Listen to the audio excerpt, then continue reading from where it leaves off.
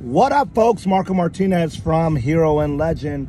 Now, a lot of people, they come at me and they're like, Marco, how do you get that positivity? How do you get that attitude of just keep going no matter what happens? You know, I know people face ups and downs. People ask me, don't you face ups and downs? I face all kinds of stuff every day.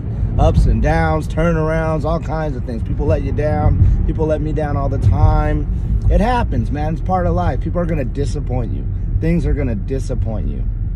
But you really have no other choice but to say, screw it, whatever it is, a person, screw them, screw the situation, and just move forward. Because if you don't move forward, if you don't, you know, let go of whatever went wrong, you're going to hold on to that crap. You're going to hold on to it for too long, and it's going to make you miserable. So do yourself a favor. Do yourself a huge favor and keep that positive attitude. All right? I'm not trying to make you a freaking positive every freaking time. You're not going to get upset. Things are going to happen. You're going to get upset. You're going to get disappointed. That's life. Things happen for sure. I'm not this 100%. life is so great. Life is so great. Because sometimes life is not that great. And I get pissed off. But you know what? Staying pissed off is definitely not going to make life great. You have to move forward. You have to keep going.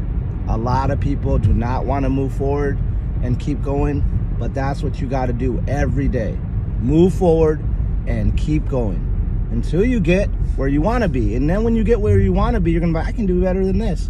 And you're going to keep going and keep moving forward. Keep going, keep moving forward. Bye, guys.